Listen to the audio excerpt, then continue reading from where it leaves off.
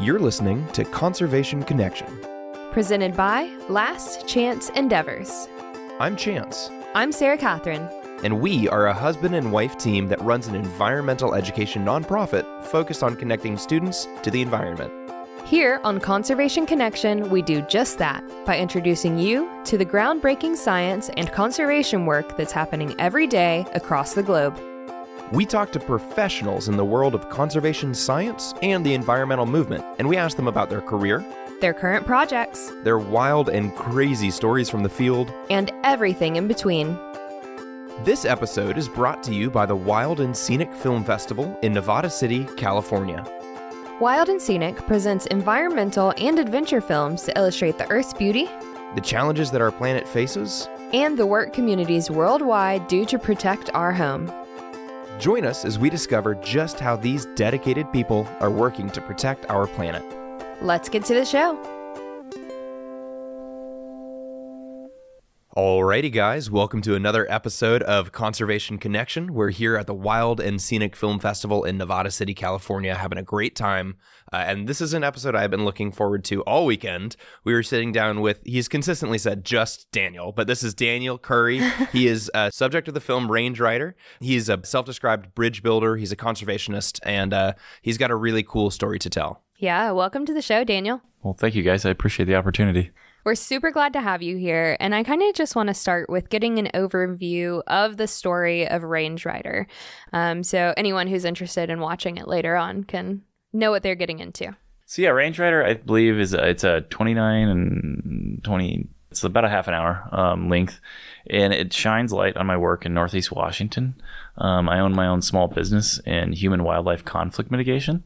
So what that means to me is kind of accounting for our ecological impact as human beings on this planet and trying to um, balance the interests of animals and wildlife and our planet and the interests of humans because I believe that we're lacking that. I think Range Rider is a good. Um, it captures that really well. It shows um, kind of the ends of the spectrum potentially, and then what success can look like. So it's a really beautiful story about uh, building a bridge and listening to another viewpoint that maybe you didn't share in the beginning, and learning how to extend our perception to maybe account for some of these differences in each other because we are much more connected on many levels than what most of us realize, um, even on the ends of the spectrum. So Yeah, I love that. And I, I think that that idea of connection across disparate groups of people is critical, especially nowadays when there's so much division and, and it, you know, you can have a conversation if you don't find common ground with, with somebody else. We all, we're all on the same planet. We all rely on the same things. So let's work together and not against each other and, and really put our efforts into solving the problem and not fighting each other, right? And I, I think that also goes right into this idea of human wildlife conflict mitigation because the story in of Western culture on the American continent is like we move into a space, we eliminate all the apex predators that would compete with our livestock, um, and then we just deal with the ecological consequences of that the best that we can, and that's that is what Range Rider and your work in Northeast Washington is you know, trying to show that it doesn't have to be that way, right? So, what are the kinds of conflicts that you're helping to mitigate where you're at? Yeah, that's a really good question. Um, so the prim- primarily the conflict is, I mean, on the ground, it's wolves and livestock, or wolves in just rural America. So it's not necessarily dealing with just people that have large ranching um, facilities or like large ranching operations. I also expand it. I'm trying to. I've done a. It all depends on funding, right? But um, I, I've I've got this concept in my head that uh, there is this rule in urban divide, and there are such valuable perspectives and insight on both that really we need to come together, like you said, Chance, to to find that true solution. I believe that, especially nowadays, like you said, we, we need this. It's critical um, in our evolutionary path as human beings, just like morally, and just as uh, our planet is in this ever changing state. That we need to really find sustainable, actual solutions. And I believe that to do that, you really have to not air your mentality or your perspective into an echo chamber. And I think that's really prevalent a lot of the times. And that's something that I just didn't feel like that was the best way to accomplish my goals. I was like, you know what, I'm going to move up into this area where it's just the ranching community and they completely, in the beginning, generally just did not like wolves in the landscape. Um, generationally, they haven't had to deal with that since the 1930s. They were extirpated from 95% of their home range. So when these animals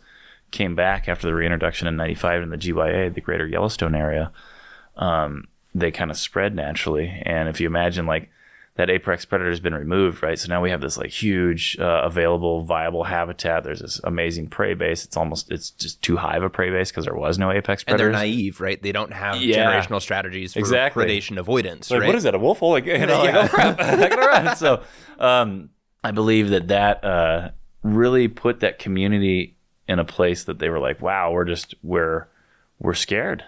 We're fearful of losing our culture. We're we're fearful of losing our livelihoods, and that's something that I didn't want to see go away. That's really important to me, especially after meeting these families. That you know, not not everybody's like that, right? I mean, it's like a bell curve. You have extremes on either side. The environmentalist extremes are are saying kick them off public land, just get them out of here, destroy the ranching community. And then the ranchers like, just kill every wolf there is. And Right. I remember going to this talk um, at Colville when I first went there, or first moved there. And I mean, the capacity for the building was like 100 people. There was probably 350 people there. There's like cops lining the, the auditorium. And I was like, wow, this is an intense subject here. And I remember going up there and speaking just my heart of hearts. And I was like, you know, I feel like I just see two different factions throwing rocks at each other, and the only thing that's actually getting hurt is what you both love. So why are we doing this? There's got to be a better way. And and there was one gentleman, and there was really powerful. Everybody's like, "Oh, come on, shut up," you know. And there's like one guy, he just he yells, he's like, "Let him talk." And I was like, "Wow, thank you," you know. And all you need is that first root, you know. You just need that first little catalyst. Right. And so, I mean, to that's a long-winded question, but or answer your question, but like the conflict on the ground, wolves and livestock, you know, rural America and wolves and large carnivores, um, like bears and cougars also, and we have a little bit of a, a grizzly population up there. So my methodology can actually effectively help kind of bridge that gap between everybody and keep everybody safe. But beyond that, I think um, it's kind of like that rural urban divide is a huge factor of that, and that's also something I'm trying to bridge. So does that kind of answer? Yeah. Oh no, absolutely. And it's it's this kind of really interesting microcosm again of Yeah. like wolves and cattle and this sort of like rural America versus hyper extreme environmentalist. Like it's it's these two warring factions that we have to find ways to not be separate factions and instead come together. And I get I mean, I feel like we're gonna hammer that point home all podcast long. Um, Yeah, yeah, yeah. Because that's the whole that's the solution is coming together and, and working together, working alongside somebody who doesn't share your views, working alongside somebody who votes differently than you do or thinks differently than you do, and finding ways that not only in spite of that, but because of that, you come to a better solution than either of you would have individually. you, you just kind of hit the nail on the head, in my opinion, Chance. It's like when we have a one sided solution, it's not truly a solution, is it? It's a one sided, you know, a, attack almost is what it's usually viewed at, you know? So I think by having these different ends of the spectrum come together, you find that actual solution and move forward with that because truly it, it does come down to just, um, like, for example, I'll just go into this a little bit. Like, Washington, I think, is perfectly set up in a way. And, and for either negative or positive. I, I don't know. I've always looked at like, uh, you know, when you go into a job interview and they're like, hey, what's your three strongest traits and what's your th- three, you know, greatest weaknesses? And Right. they usually coincide, in my opinion. You know, like I'm a hard worker. That's almost detriment sometimes because I'm Right. like, wow, you know, I haven't had a vacation in 10 years. I don't get out and I don't have my own personal life a lot of the time. So I think, for instance, to come back to Washington, it's like 70% of your populace is on the western side of the Cascades. It's like Seattle, Olympia area. Right. Um, no wolves yet. Uh, very little bear activity. You know, there's some cougars over there, but you go to the east side and there's 30% of the populace and there's a lot of animals over there. Um, but then yet this side wants wolves, this side doesn't. All the cattle ranching operations are on the east side. So it's like, wow, we can either look at this as a divide and just totally just push each other back to the ends of the spectrum and not come up with a solution, or we can actually like look at this as a potential opportunity to set the bar for how wolves can be managed in a way and, and ranching methodology can be augmented in a way to actually bring a fruitful solution to the table where you know the culture still lives the wolves are out there and now we've fostered an appreciation for this apex predator on the landscape again. So I love this sort of 10,000 foot view that we're taking about like philosophically, we have to find ways for these disparate groups to work together. And I'd love to zoom in closely and be like, what is how are you mitigating these issues? Like, what do you do to change wolf behavior? What do you do to change rancher behavior to maintain the culture, but also allow this this coexistence? Okay, yeah, that's a great question. Um, and it's a commonly asked question. They're like, "What, what the heck are you doing?" You know, Yeah. so what is it? What's your yeah, day what do you day? do? So, well, there is no nine to five. So the first one is like you just don't know what you're going to encounter that day, and the days are usually like minimum twelve hours, you know, and and a lot longer a lot of the times.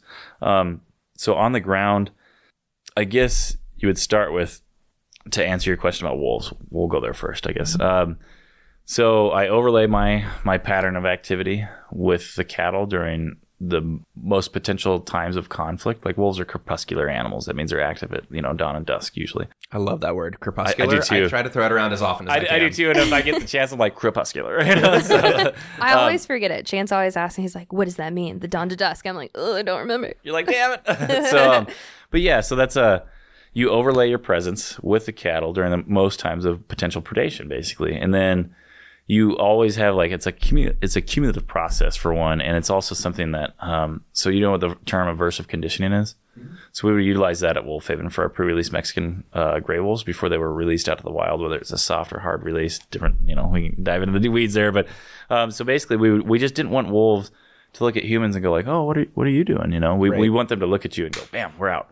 You know, we're we're gonna run away. We have to have that innate fear from them because, especially for for my work, I mean.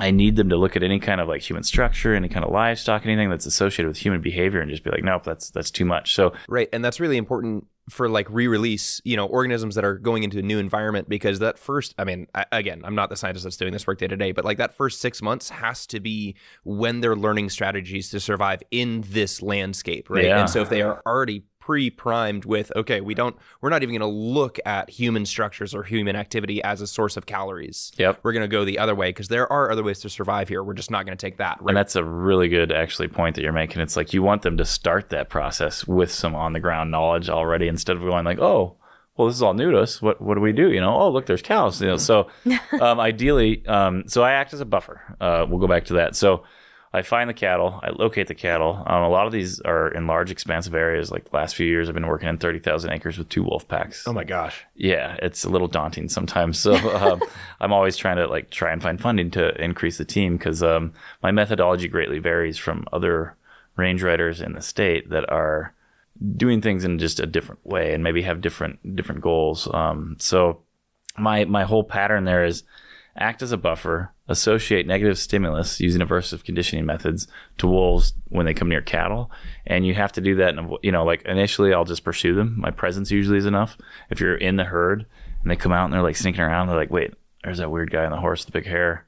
We can't do this." You know, they gotta go. like, that's abort, weird. I gotta go. abort. yeah, so like wolves and all wildlife and, and us in general, like we're 75% water, right? And water always takes the path of least resistance. So if you think of that, these animals are always doing that. So they're like risk to gain masters. They look at a scenario and they're like, what am I getting from this? And what potential outcome negatively will I have to deal with? You know? Right. So if you can always stack that risk up, they're like, wow, there's just no gain there with these cattle. So I'll just go hunt the deer and the elk and the moose and my natural prey base. So you go about that um, pursuing. Uh, I've, I've utilized uh, like rubber buckshot, capsaicin filled paintballs. In certain circumstances, like when wolves come down to like private ranching operations where there's like an infrastructure of like fencing and stuff, you can use things like fladry, um, which is like a string. It's like a hot wire, imagine with like some red flags every two feet. So wolves generally are very neophobic, right? And that just means scared of new things.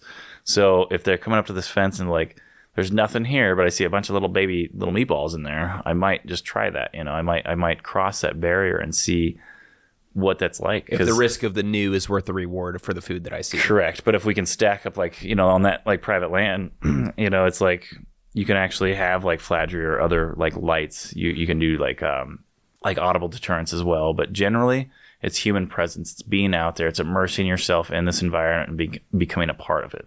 And then knowing where the cattle are, knowing where the wolves are, knowing how they historically use that landscape, and then knowing how they're currently using it, and then just kind of keeping the wolves up in the mountains and keeping the cattle um, where they should be. So It's really an interesting. Thank you for that answer. That was an excellent, you know, snapshot of what are the methods you're using to to protect these cattle and and who has the financial incentive to protect their cattle. Right, they're hiring you to protect their cattle as investment. Right. Well, they're they're not hiring me personally, so that's a whole other topic. If if you want, we can address that. yeah, or- let's dive in. So, so how, how does this whole thing work? So funding is always kind of the crux of my job. Um, but like ranchers, you have to understand coming from their point of view. You know, um, they've been generationally taught like the best thing to do with a wolf is just to get it out of there. I mean, uh, you've seen the pictures of the old stacks of pelts so high and they're higher than the cabin. I mean, so generationally ingrained mentalities of like delete those apex predators. That's the best way, like you said earlier, to keep my livelihood safe. I just kick them off the landscape. I extirpate them. I, I kill them. You know. Um, so I think uh, by offering a service that actually mitigates that conflict, it opens up that dialogue. You know, like the first few years. Um, I was going off on another tangent. I'm sorry. No, no, go ahead. but uh, for the first few years, like I realized, uh, like listen twice as much as you speak. That's what we got two ears and one mouth, right? So I believe that's a very important aspect. When I came in there, I didn't want them to have their walls go up and be like, you know, I, I, what are you coming over here from the west side? You're going to tell me how to run my operation. I've been living here. I've got, you know, like four or five generations on this property that we've been ranching. And you think you're going to come over here and augment this or something Right. for for wolves, you know? So I think in the beginning it was a very hard hurdle to and and not even hard. It was just a complicated hurdle to overcome because they're like, well, what is your motivation here? You know, and I think by through transparency, honesty, and just um, being out there. I mean, no matter if it's like sideways snow, it's just inclement weather. You're out there all the time. They're like, man, I keep coming out here, and this guy's still out here riding. I think that builds a bridge to where they're like, wow, you care actually about me and I feel safer. So that fear based reaction is almost nullified at that point. And then that opens up a dialogue because they're like, well, why the hell are you out here? Why, why are you doing this? I'm like, oh, I love wolves. And I realized real quick that I came over here to save wolves and I have to save your community as well, you know? And not to say that like, oh, I'm saving the community, Right. Yeah, but it's like, not a savior complex. It's just like I care about this, and if I care about this, then I also have to care about that. correct. And I think we needed more of that in this world because all these fates are intertwined. Like you said earlier, we're all on the same planet. Right. And so that's cool. So it's like, I mean, that's you're talking about being a bridge maker, right? Yeah. That's we both care about your cattle. I care about your cattle because of how it affects the wolves. You care about your cattle because it's your livelihood. But we both care about those cattle. Yeah. We're both putting effort into making sure that those animals live the best lives, have the best possible outcomes. Yep. And that's how we create this conversation Correct. of how do we work together instead of against each other. Yeah, and even more on that is uh because I you know in the beginning it was like yeah I care about this because I need to save them to keep these guys alive, but then you start having dinner with these families, and then they they you know I've had a few of them bring me lunch because they're like I know you're not eating a lot and you're on the Range Rider diet, you know. So I was like that humbles you. You're like wow you actually care about me now. So it it even goes from that to like I have to save the wolves and keep your cattle alive. It goes it transcends that to like no, now I also want to do it just because I love you guys. Like we're now friends. You know, we're we're uh, I'm part of this community, and you're you're allowing me in here. Um, you ingratiate yourself in that community by just true, honest work. And I mean, like there was this one instance I was saying, I had this rancher ask me, you know, he's like, "Can you come help round up for you know calving?" I was like, "Oh, absolutely. You know, that's great knowledge for me." Um, and I always will help you. You know, so I show up and I had you know what Chaco's sandals are. Yes. That was the only footwear I had. They're cracked in half the left one. It's got duct tape around it. It's like a very it's not even a shoestring budget. It's like a little tiny string budget that I run on. So Thread budget. yeah, yeah. Um, I had an angel funder buy me new clothes. In fact, so, like you can't go into California looking like that. Daniel was like, oh, that's a good point. Um, anyways, so I get there and they come out, his cowhand and him, and he, they're like looking at me like, hey, Daniel, what the hell is this? You know, like what are you doing? I was like, my feet are like, well, well I'm here to help you. You know, so I was like. And they're like, you, you can't do that. And I was like, no, I can. And you know I will. And they're like, yeah, but no. So uh, Mike goes and grabs his boots and he hands me his boots. He's like, put these on. I was like, okay. And we do the day. We go throughout it and I help them. And they're very gracious and, and very grateful about it. And um, so then, like, maybe, I don't know, a week or two later, it's like well before my birthday, right? Like, uh, I, I, July is my birthday and this is like four months prior. So. I get there and he's like, "Hey, come inside." I was like, "Okay," and he just hands me a pair of brand new boots, and I was Wow. like, "That's what I said." I was like, "Wow, you know that means a lot to me." And he's like, "Yeah, just consider it an early birthday present." He's like, "You can't be walking around like that. I know what work you do. I know that you're you're not going to stop because of your you know your attire." So you know, Right, so it's like, wow, that meant a lot, and it just it's very humbling to see somebody go from like, "I don't really like them. I don't really trust you," to like, "I will take care of you." You know, it's like basically as humans, I believe that we tend to draw a circle and protect what's in that circle. And for me, I've learned to uh, just draw a bigger circle Yeah. And I think these guys are learning that too by that action. It was like, wow, that just meant so much to me, you know. So- Absolutely. And classically, rural America is a very tight knit community, right? Yeah, we all yeah. show up to help with each other's harvest because Yep. I can't do it by myself. Why would I expect you to be able to do what you're doing by yourself? If we all work together, we help each other. Yep. And it's just a matter of becoming part of the community, Yeah. right? I help you, you help me, and and together we do more than any individual could do by themselves. Absolutely. And to be honest, like I feel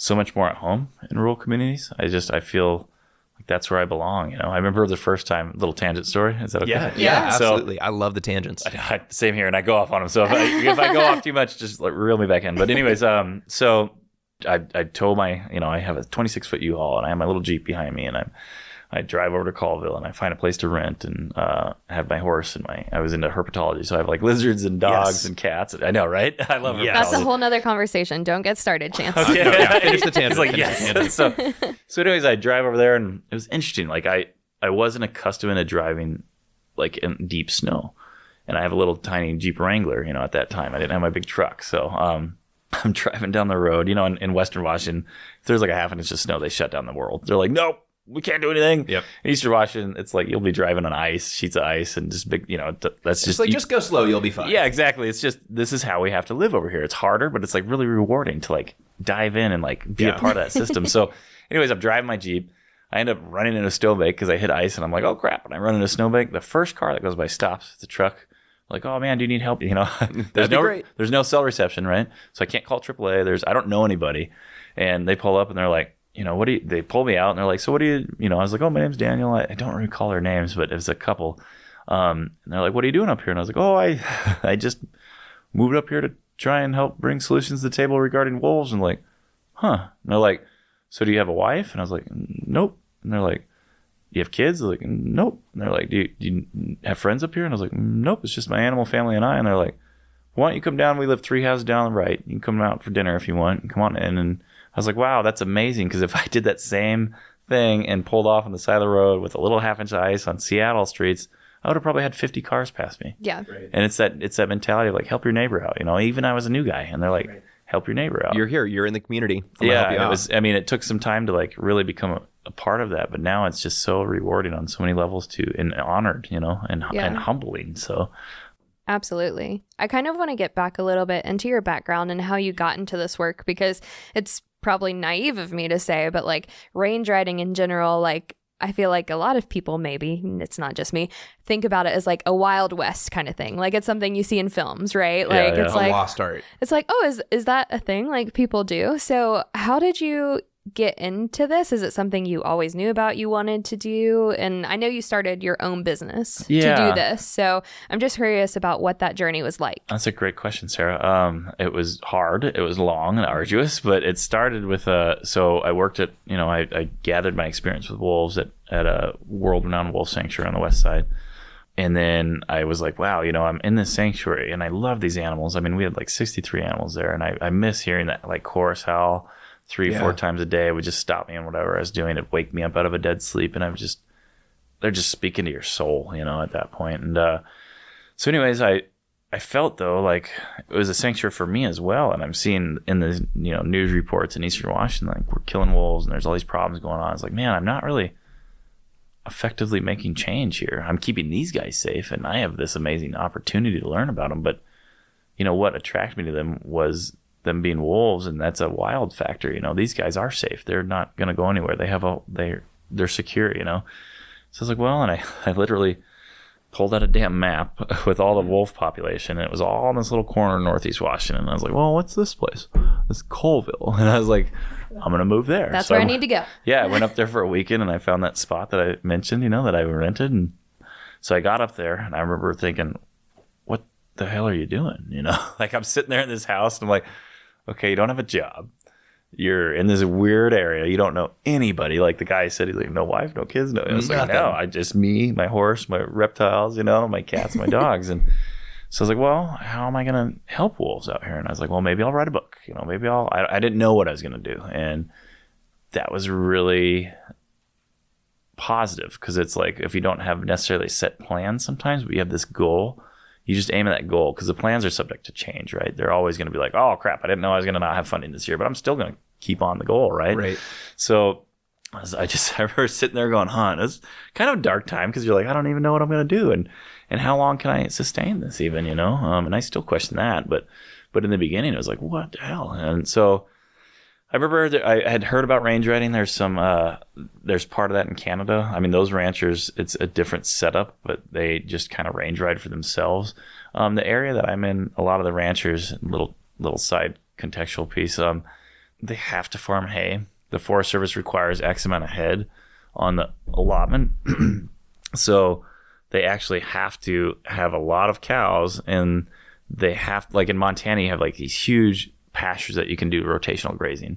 Like, That's not an option here. So when they come back in the winter, they have to have enough hay to keep those cows that that number of head through and sustain them through the winter. Because this system is basically you put these animals out on public land when it's you know growing season, June. right? And there's plenty of food available for Yep. them, and you let them go out and be grass fed, and then you bring them back to your land Yep, and overwinter them. Yep, exactly, exactly, Chance. So, um, so that's kind of a problem I saw. I was like, okay, so they don't have the ability even because they're they're farming hay. They have to. There's no option, or else those cows won't live, and then their whole their whole business model's gone. Um, so it's like they don't have the ability to go range rider for themselves. So to get back on your question, Sarah, uh, I know everything's a long answer. It all I- ties It's all related. It does. All It does. together. So I was like, well, I've heard of this range riding stuff in Canada. You know, it's a different setup, but maybe I can offer that service. So I called the, you know, the state, the Washington Department of Fish and Wildlife, and I was like, hey, you know, I've got a lot of experience with wolves, and I would just like to help. And I, you know, I was starting to gain experience with horses. Um, I had not had the privilege of having horses in my life when I was younger, but at that point, I'd rescued my horse Griff, and and he taught me everything I know about horses. And um, so, anyways, I was like, they, they were like, no, we're, we're not hiring any range riders. You know, we have no interest in that. I was like, oh, okay. And I go back to the drawing book and I go sit in my living room. That's, you know, what am I going to do? You know, and this, I don't know. Um, so then I was like, well, if you really want to do something and nobody will hire you for doing that, what do you do? You start your own business. I was like, that's what I'll do. So then I called him back up, I don't know, a month later after running all that gamut of the, you know, the loopholes and red Yep. tape to start that, um, which was a whole other story there too. But, uh, then I called him up and I was like, hey, would you like to contract with my small business? They're like, oh, that'd be great. Yeah. I was like, now that you mention I don't it, get It's the that. same question. I know, Literally, it's exactly. just me, but I have an LLC after my name now. exactly. It's like okay, whatever. I mean, if that gets me in, that gets me in. So, um, so from that point on, I July third, the day before my birthday, I was out there riding. I was like, wow, I've I've done it. It's created. I got you know, I got the whole thing going. You know, and I was like out there riding on the back of Griff, and this you know that allotment specifically is like twenty eight thousand acres, and there's a pack of wolves out there, and there's like you know 175 pairs of cattle, and I was like, so now what the hell do you? I was like, wow, you got to learn. So um, that was just a process of like finding out what the ranch, you know, what do you know about these guys? What do you know about where you seen wolves? Where do your cattle usually go? And then just putting all these different pieces together. It's like a jigsaw puzzle. And then you can actually take that 10,000 view. Go, okay, here's what we got to do to accomplish this goal. So the plan, like I said, always subject to change. The goal is always solid. Yeah. So I like to imagine that first time you're out there and you see this big pack of wolves and all this cattle, and you're like, oh, what do I do? And you're like, all right, just gonna start like riding toward him and like Yeah. screaming and everything. Like I could just see it in a movie, basically. Just Hon- like, ah, honestly, Sarah, that's kind of how it was. Was like, I don't know at first, you know, and I was like, Go, go, wow. go. Yeah. And I was like, they do respond to that. They, Yeah. they were like, holy and the crap. wolves are like, what the heck? Okay, Yeah. man. exactly. Nobody's really, you know, I, I don't know if you've seen that film, but like I said in there, it's like nobody is taking the time to offer them true solutions in that community. So it leaves them with their own devices, and generationally, that's been a box of bullets. So once you start doing that, they're like, wow, I'm seeing actually results from this. So maybe I'll participate. Like in the beginning, I could have supplied all the demand because there was like two ranches. Right. Now it's like, oh crap, you know, I need to upscale this and offer a better solution. Um, so And it's really interesting because one of the, I think one of the other conversations we've had um, around like regenerative agriculture Yeah. is that farming and agriculture and ranching is so effort intensive. It Oh, takes yeah. every, literally every day of labor that you can provide just to make harvest happen. And so, because of that, a lot of agriculturalists and ranchers are really there's a lot of inertia to changing the methods because I know this method works. It's gotten me a consistent return on this investment every year and I don't I can't risk having a bad year because one bad year means my my ranch goes under, Yeah. right? And so to have somebody else who can come in and say I'm going to supply this effort I'm going to show you that this new technique works is the nudge that gets the boulder rolling down the hill. Correct. And once it's a well documented phenomena that this type of wildlife human interaction mitigation works, Yeah. then it's a lot easier for a rancher to say, "Oh, I do have a couple of, of days this year that I can go range riding. I, you know, I've I've got time that I can do this." Yeah. And that's not, like you said, I mean, it's a hard life that they're living. And even in like the perfect scenario, they still might have a variable that they didn't account for that just totally screws that year. It's just detrimental to that year. And so to add wolves on top of that is what they're seeing. Like the government just threw wolves out here. And now I'm left to this. It's like I already have a hard life. And now you're just, there's already like a mentality that they might be trying to potentially get me off public land. They're trying to move rural America, you know, and divorce from it. Right. And it's like, I don't want to see that. And, and by offering that service, I think you do exactly what you said. You're like, I will help you on this end so you can actually put more attention on, on your ranching operation. And I think that is really critical. Now, definitely, again, like the varied methodology will produce different results. I mean, there's some people out there that are covering six allotments by driving into one of them for an hour. And it's like, you can't effectively Right. prevent conflict or even see cows or wolves at that point. So, Right, Yeah. for sure. yeah. Uh, just real quick, what is the value of a single head of cattle? Like if a wolf pack were to take down one of these livestock, what financial cost does that represent to a rancher? potentially thousands of dollars. I mean, you have to look at it also as not just that head, maybe, but like if that was like a, a mother cow, like how many calves would I've had? If that's a bull, how many calves would I've had if now he's gone? Now I have to go buy a seven thousand dollar bull, um, and lost all the potential offspring from that. So it could be extremely detrimental. Um, that's another reason why it's really important to just prevent that conflict before it ever happens. You know, it's it's a no brainer to me. I'm like, we got to guide the process instead of react to it. Is what it comes down to. And I see so much reactionary mentality from like, state Fish and Game and other other entities that are like, this is not the way to do it. You know, Yeah. I had a rancher that called me. Oh, this is probably a month ago now, and he's like, he had seven wolves like at the end of this this corner of this building, um, and that's in his pasture. I mean, this guy literally has like Nat Geo. He he, got, he brought me there once. This guy that handed me the boots, and he's like, Daniel, why don't you look at something? So we're standing at his front door, and if you drew a fifty foot circle in diameter, there was wolf, coyote, cougar, bobcat tracks right there. And Wow. like that's if you open your front door, and you're like, so right there, and he's pointing. He's like, I saw one. He, I love it. He's like, I saw one of your dogs underneath the street light the other night, and I was like. Oh crap, my dogs! And he's like, no, no, the wolves. I was like, oh, okay. I was like, I was like, those guys can travel pretty far, and pretty quick. But um, so I think uh, w- when you when you have that much interaction with wildlife, it, it can kind of be scary if you're if you're left to your own devices, you know. So For sure. I don't know. I was gonna go on to something else there, but I don't recall. Apologize. I think that came from like talking about what the expense is to a rancher to lose a head of cattle and, Yeah. and how, you know, it's important to not be reactionary about That's it. That's right, That's right. So thank you. I appreciate the chance. You guys are good at this. I'm like, I got so much information I'll just unload it sometimes, and I apologize for that. But so this rancher, he had seven wolves, and the, you know, just right there, and he's like, and at that time I didn't have a contract, and I and I volunteer as much as I can, but you know, the price of diesel, the price of hay is going up. It's insane. So it's hard to like. I mean, it's it's a very tough lifestyle, and it very much mirrors the ranching lifestyle in many ways, even more extreme sometimes. Because like I'm spending tons more money to actually watch those cows than they are to even graze them out in these public land allotments. So there's this weird dynamic there. But, anyways, he called the Fish and Game three times at that point and said, I need some help. Gave him detailed messages three different days. Wolves kept coming back. They didn't even call him back. And he said, Daniel, I saw, uh, you know, his property's laid out to where there's a long, it's kind of like a long chunk of land.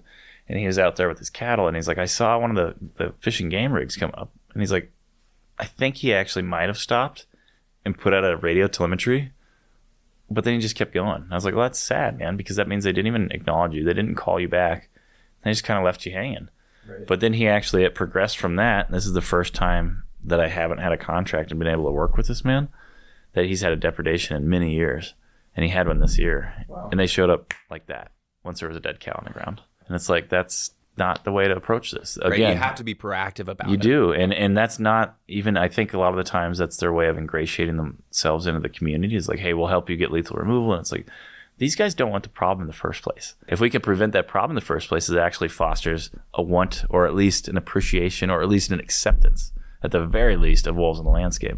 But at that point, when they're going through the problems, it's not like they're like, "Cool, thanks for killing those wolves," and now I like them a lot better. No, they're like, "This is still crap," you know. and You're, you're now we have dead cattle and dead wolves. yeah, yeah, and I've even had you know I had a rancher say that last year. He's like, "I don't want them shooting these pups," and I mean, you know, there's a whole instance there where Fish and Game actually shot a pup from another pack to Wow. and it was like this is not productive you know this is there's a better way so that's where i jumped into this foolishly or not but, yeah For anyone listening, where could they find Range Rider and where could they also go to find uh, more about your business? um, so my business is griphs.com g-r-i-p-h-s.com um, and you'll have all my contact info there. Um, and then range rider if you go to rangeriderfilm.com and that's uh, Colin Arisman's film uh, production company. And yeah i couldn't have asked for a better group of people to to convey the story because it's such a already polarizing subject. You have to really be careful. And I've had some people want to do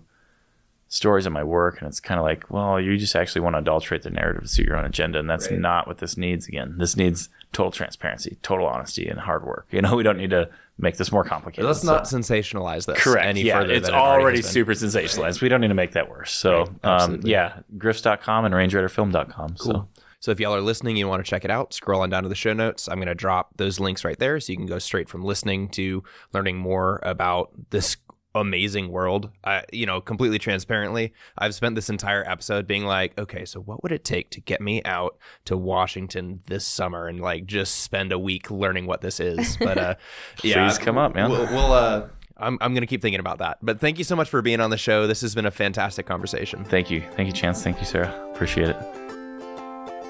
Thanks for listening to this episode of Conservation Connection. If you enjoyed our podcast, go ahead and subscribe to make sure you catch every episode that we post. We'd love to hear from you. So if you want to reach out, go to our website, lastchanceendeavors.com backslash contact, and shoot us an email. We love questions from our listeners, so if you heard something you'd like to learn more about, be sure to let us know. If you've got a minute to spare, leaving a five star review on Apple Podcasts will help other conservation minded people find the show. We'd really appreciate it. A big thanks to the people working to protect our planet, and a big thanks to you for listening. Don't forget to tune in next time.